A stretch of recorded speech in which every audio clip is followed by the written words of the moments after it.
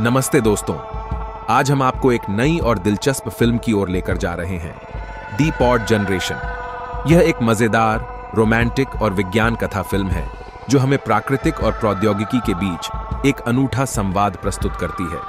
तो चलिए, इस कहानी की गहराइयों में डूब जाते हैं और देखते हैं कि कैसे एक एआई और प्राकृतिक जीवन के बीच का संघर्ष हमारे नए वीडियो में दिखाया गया है। दी पॉड जनरेशन एक मज़ेदार फ़िल्म है।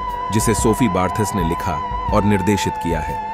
इसमें एमिलिया क्लार्क और चिवेटेल ईजियोफोर हैं, जो एक न्यूयॉर्क के जोड़े की भूमिका निभाते हैं, जो एक परिवार शुरू करने के लिए तैयार हैं। फ़िल्म का कहानी एक ऐसे काले दुनिया में बसी है, जहाँ आर्टिफिशियल इंटेलिजेंस एआई प्रत्येक जगह है और प्राकृतिक जीवन के सम्मुख एक महत्वपूर्ण संकट है। रेचल, एमिलिया क्लार्क, एक उच्च पदस्थ प्रबंधक हैं। जो प्रतिष्ठित पेगाजुस कंपनी में काम करती है, जो एआई पर काम करती है। अलवी चिवेटेल ईजियोफोर प्राकृतिक जीवन के प्रेमी हैं, जो पौधों को संरक्षित करने और प्राकृतिक जीवन की प्रेरणा से एआई को सुधारने में काम करते हैं। पेगाजुस एक सुविधा प्रदान करती है, जिसे वूम्ब सेंटर कहा जाता है, जिसमें जोड़े को बच्चे को पालने के लिए मोबाइल, आर्टिफिशियल गर्भ या पॉड का उपयोग करने की अनुमति देती है। रेचल और अलवी इस सुविधा का लाभ उठाते हैं और पॉड के माध्यम से अपने बच्चे की पालन पोषण की प्रक्रिया में शामिल होते हैं।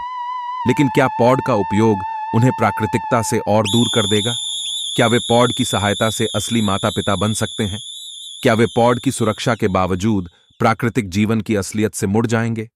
फ़िल्म इन सवालों के उत्तर ढूँढने का प्रयास करती है और हमें प्राकृतिकता, प्रौद्योगिकी, प्यार, जीवन, समानता, त्याग, सहानुभूति, मूल्य, संस्कृति, समुदाय, समस्याएँ समाधान, संतुलन, संतोष, कल्पना, समाधान, परिवर्तन और उच्चता के विषयों को दिखाती है। दोस्तों, दी पॉड जनरेशन एक फ़िल्म है, जिसमें नयापन है और हमें सोचने पर मजबूर कर देती है। यह हमें यह सिखाती है कि कैसे प्रौद्योगिकी हमारे जीवन को सुधार सकती है, लेकिन यही समय हमारे प्राकृतिक जीवन से दूर ले जा सकती है।